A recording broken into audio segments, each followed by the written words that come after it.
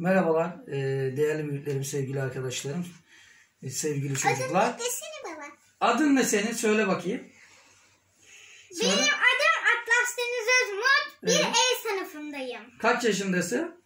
Altı.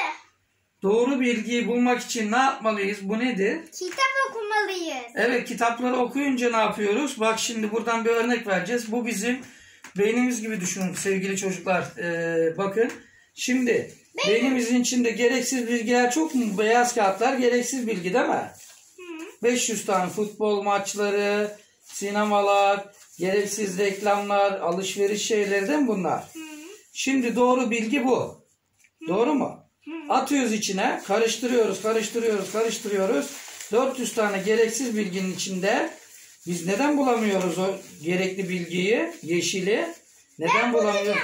Şimdi bulduk. Kitap okursak ne olur? Yeşil. Doğru bilgiyi buluruz. Doğru bu bilgiyi buluruz. Evet, kitaplar bizim neyimiz? Bilgimiz. Dostumuz değil mi? He. Biz beraber hikaye kitapları okuyoruz değil mi? Evet. Ne yapmalıyız? Gezmeliyiz, okumalıyız ve araştırmalıyız değil mi? Çünkü Evet. her